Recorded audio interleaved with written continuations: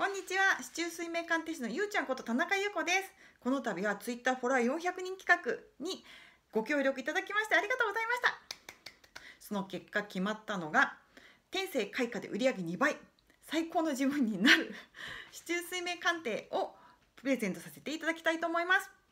で、えっと、この天性開花で売上2倍って言ってるなんですけどもこれはあの実際私のことです。2年前の私になります、えっと、当時私はビジネスコンサルをしてたんですけどもあの新しいコンテンツ作りとかビジネスを変えるとか全く何にもしないでそのたった一つの具体的なアドバイスを意識しただけで、えっと、気づいたら売上が2倍になってたんです。年収が2倍になってました。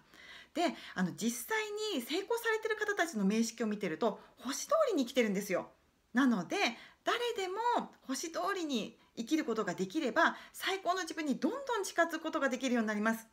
なので私はこの市中水面の知恵があの世界共通の言語になってほしいと願っております。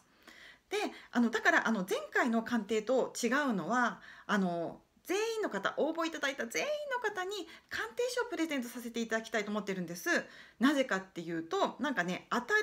だけではダメなんですよあのその市中睡眠の知恵を知ってご自身で理解して生かしていただきたいと思うからです。なのであのもしあのこの動画に共感していただけたらあのツイートをあのシェアしていただけるととっても嬉しいです。